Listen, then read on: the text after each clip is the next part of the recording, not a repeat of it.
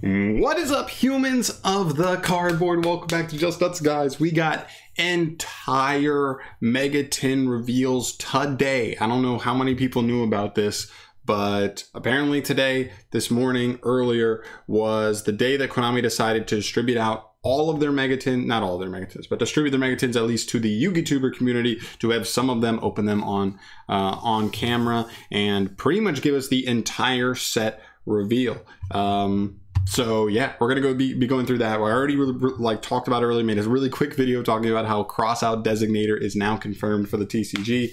Uh, we will have that in about two weeks. That is insane news. That is an insanely impactful card for the metagame.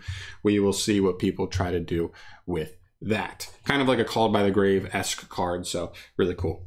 Anyway, um, today we're going to be going through the entire set, giving a quick review on on everything. I don't want to spend too much time on any one thing, but going through it is going to be really really cool. So 258 cards here. Do not forget that these sets are massive. So I am going to be skimming a good bit, but uh, you know we're on UGP. It's not going to be the prettiest way to do this, but we're going to be going through it.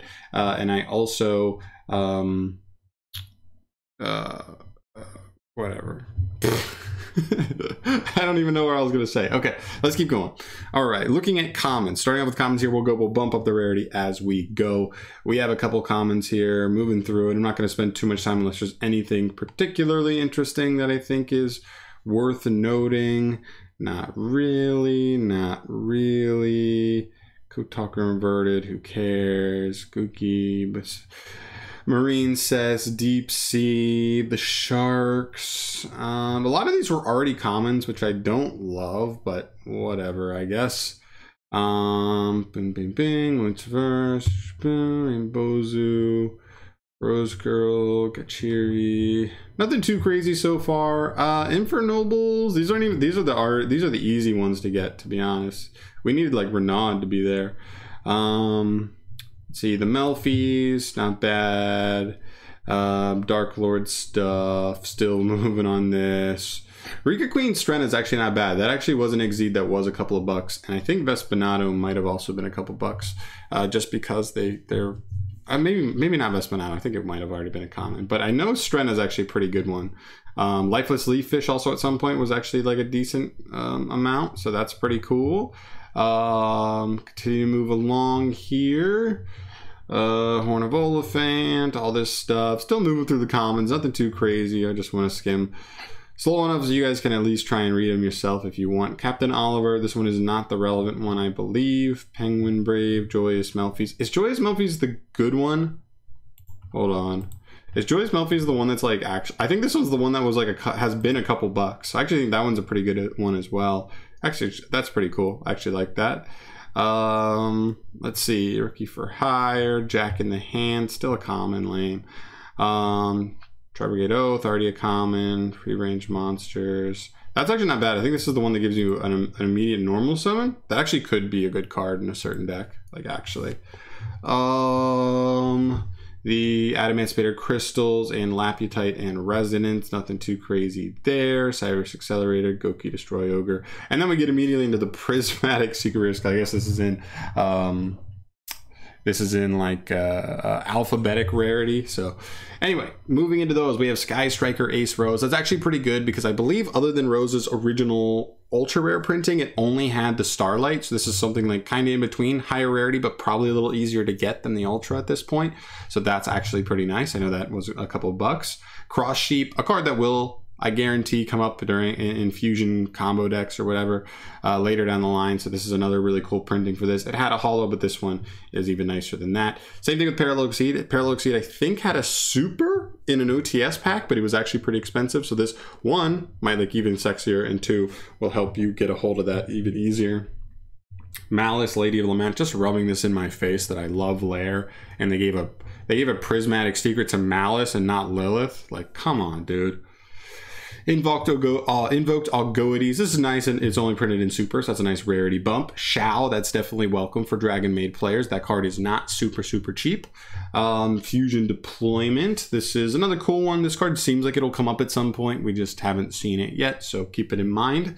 Um, Machina Metal Cruncher. This is nice. This is a card that has floated up and up as Earth Machine keeps seeing, um, you know, like rogue playability, definitely. Um, Dogmatika, and then we get to the oh sexy Dogmatika Ecclesia the Virtuous. Now I know this is a prismatic secret, but honestly, this might be better than having it be an ultra, uh, because I know the ultras in this set are going to be really hard to pull as well. We'll see though. Uh, it'll definitely help, right? Uh, because the entire Dogmatika package needs to be, um, you know, brought down a little bit. But that's really, really cool. It's a rarity bump. Actually, no, it's not. Big. Well, because they have uh, the Starlight, but still, it's nicer for a, a rarity bump for the more budget players. Um, Gaia the Magical Knight of Dragons, cool. It's Guy support. Dogmatika Punishment. They I think we got a super in an OTS pack, which was again kind of like Parallel Exceed, getting up there, but Punishment a little bit sexier of a, of a printing now. Shaddoll Schism. This is huge. Shaddoll is normally a very very budget deck, except for Schism. Except for Schism, and now Schism gets a reprint that will absolutely help. Um, you know budget players play Shaddoll a little more uh, you know wallet friendly. Ice dragons prison another really good one to see here. These are all cards i, I wanted to see.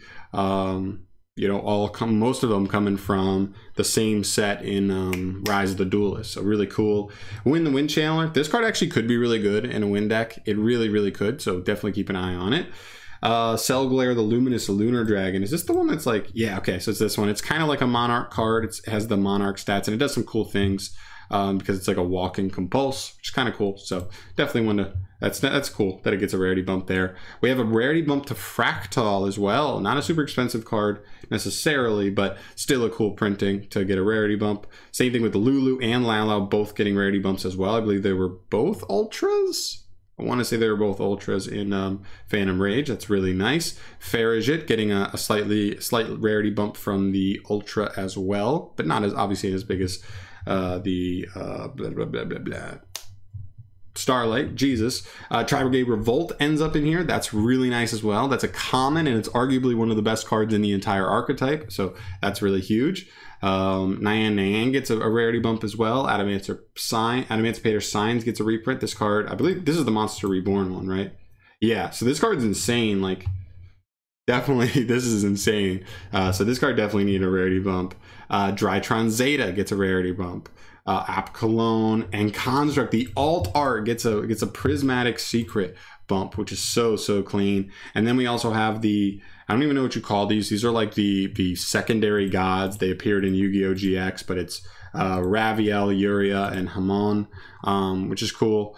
Um, I love them. Eh, they're cool. Like they're they're they're kind of knockoff you know Egyptian gods, but they are really cool, and it's cool to see them get like a, a really cool rarity like that, even uh, for modern standards. The last one is also the the, the newer version of Raviel that they put in that structure deck. So very very cool. That sums up the prismatic secrets. Pretty nice there. To be honest, there's some really good stuff in there.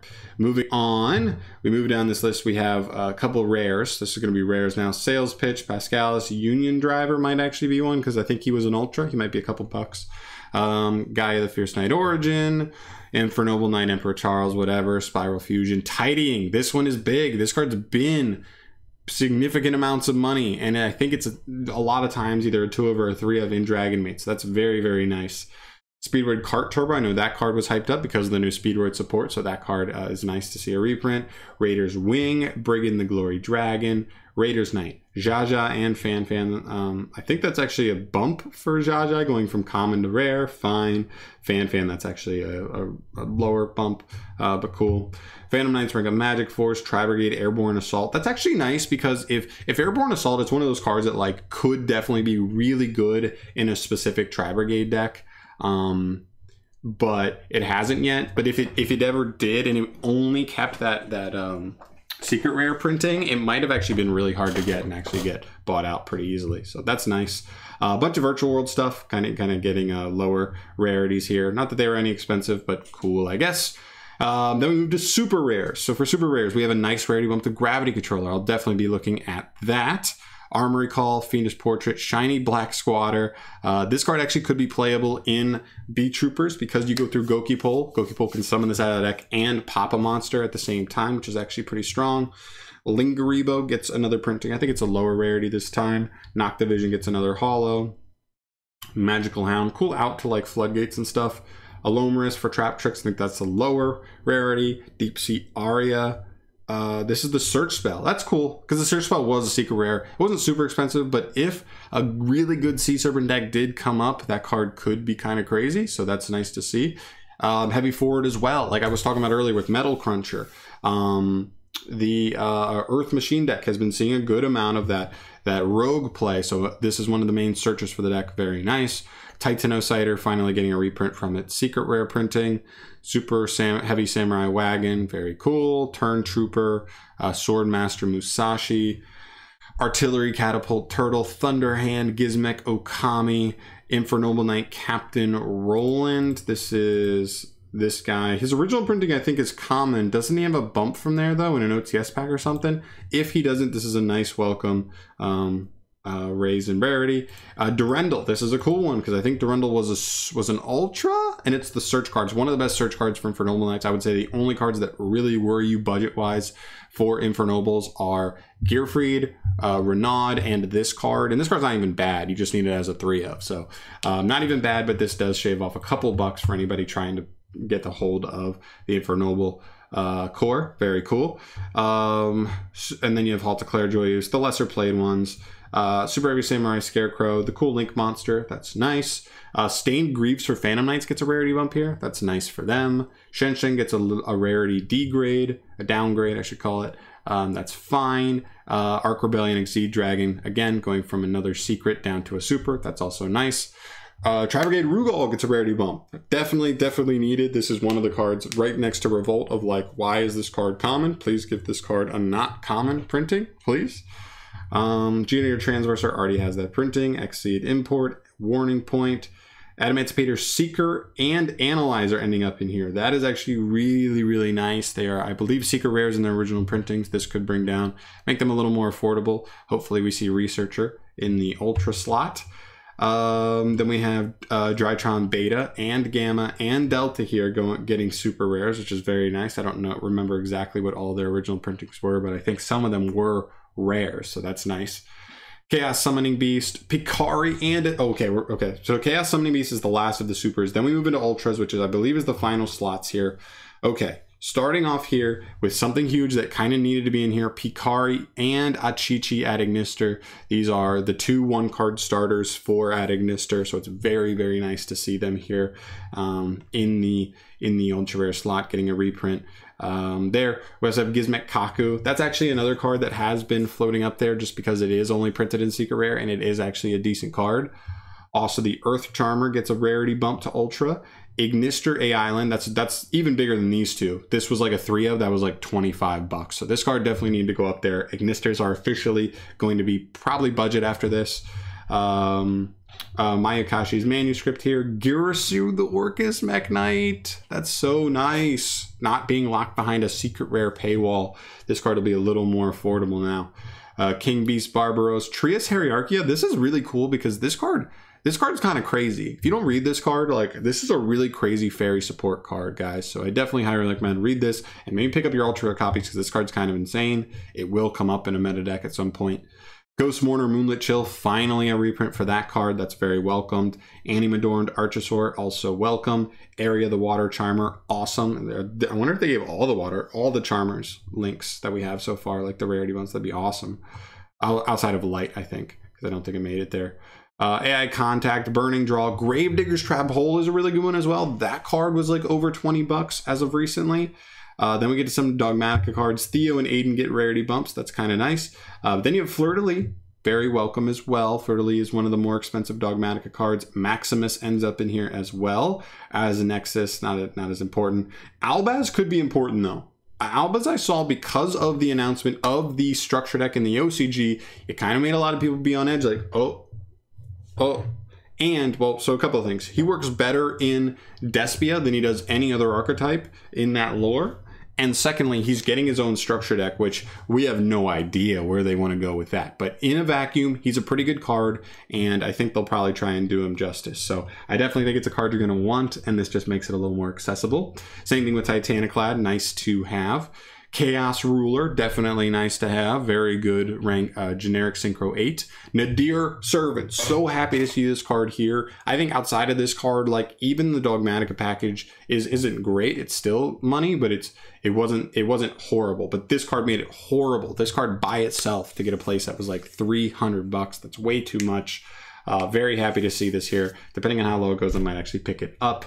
We have Emancipator Friends, Triple Tactics Talents. That's another huge one checked off the list. Odd Eyes Revolution Dragon, that's nice to see. Phantom Knights of Torn Scales, nice to see. Nervall and Kerass get rarity bumps to Ultra, very nice. Same thing with Gigi and Lily.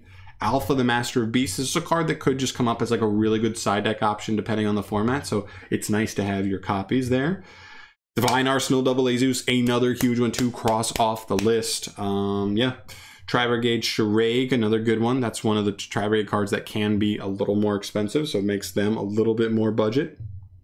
Mahaama the Fairy Dragon, nice rarity bump. Adamancipator Researcher, that is huge as well. That was really the only card in the Adamancipator core that was like money, money. So really good to see that finally get a reprint because um, that card was going to get, that card's been crazy for a long time. Um, then you have all three of the extra deck monsters. Not too huge. I think these two are, I think they're all secrets actually. So not that big of a deal. None of them are that expensive either. And then we get to uh, some Shaddoll stuff, funny enough. Re-Shaddoll Wendy, nice, get an Ultra. I think that's an upgrade from a Super. Uh, Naelshaddoll Ariel, I think that's also an upgrade from a Super. Then we have Dark Beckoning Beast and Opening of the Spirit Gates. I think these cards might have been commons in the structure deck they come out in with the Sacred Beast. So that's kind of nice that they got a couple of their cards actually in hollow because that deck, th those cards do actually do something. They're a nice little engine. There was a time where people were literally just playing that engine in uh, in um, Eldlich, and it was a legit deck not too long ago. So that's very very cool to see. Um, then we finish up here with the brand brand new card, still ultra rares though. We have True Light. This is like the um, that one card that Dark Magician has. It looks just like this, but has Dark Magician on it. Does they do almost the same thing, but slightly different. Very cool for Blue Eyes. Then we have Magician's a Salvation and Piercing the Darkness. This one is Dark Magician slash Dark Magician Girl. Um, support and this one is mainly dark magician support but it could work in any like normal monster um, kind of deck so that's pretty cool. And then we finish up here with probably the most hype thing we've seen the entire day. I talked about this earlier cross out designator this will be the chase card of the set. It is an ultra and there's one very important thing to keep in mind that even if the rare even if the pull rates are completely even and there's no short printing like last year was confirmed that there was no short printing there are so many ultras and you only get six ultras in a box, that you would have to open a case. And opening an entire case of this product, you would average pulling one copy to two copies of the the ultra rare you're looking for. It's somewhere between one and two, um, and I think it's closer to one. So you have a you have a you have the highest chance of just pulling one copy of the ultra you want. So keep that in mind if you're really looking for a playset of Designator. Even though the playset might be more expensive than a case, it may be worth it because otherwise you might need two to three cases to actually pull all three. Um, but that's obviously up to you. If there's other stuff you're looking for, maybe it's still worth. I don't know, but that's just something to keep in mind. This will be this year's Dragoon for sure. Um, but yeah, there's a lot of stuff here. The only thing off the top top of my head that I can really think of that's not in here is access code and i believe pros did prosperity have a chance was i can't remember if if blazing vortex is one of the sets listed for the Mega-Tins this year. Is it? Hold on. Trying code rise of phantom secret surgeon. No. So it doesn't look like it was listed there so okay never mind then i won't say prosperity that'll be next year's tins for sure um, and so I guess the big thing here is access code. Um, we'll see. Hopefully, we do still have the gold, um, the gold maximum gold set coming in like just like less than two months, or yeah, about two months, I think.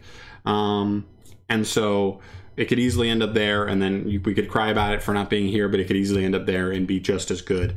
Um, maybe not as pretty, but you know, we get the reprint if you're a budget player. We'll take that nonetheless. So very, very cool. I think for the most part, uh, there's nothing else that's huge that I don't see here. Droplets already getting reprints in like other things. Uh, so I'm not really worried about droplets. Um, Chamber Dragon Maid is in here, but it's already confirmed for maximum gold. So I don't care. Um, and plus, they already printed all the other ones, reprinted them in, in, in gold, in that gold rare. So honestly, I'm not mad about that because uh, you can actually get an entirely gold core of the of the the small monsters in the main deck. So that's really cool. Um, but yeah, I I mean, listen, it's the Megatins. There's going to be a lot of good stuff in here. There's going to be some stuff you probably don't care about in here. So just hopefully, if you're going to buy it sealed, you pulled what you're looking for, or if you're just going to do singles, hopefully the price of whatever you're looking for dropped enough where you just feel really good about it. So really really cool hopefully this helped you at least let you know really quick going through everything what exactly is coming in here what you can be excited for and let me know down in the comment section down below what you are most excited for from here um, what you're most excited to pick up because i've got a list i definitely have a list of stuff i've been waiting on because it's been too damn expensive and i'll probably be going in after this. So cannot wait. Let me know in the comment section your thoughts there. I will see you in the next video. Thank you so much for watching. As always, I'll catch you in the next one. Peace.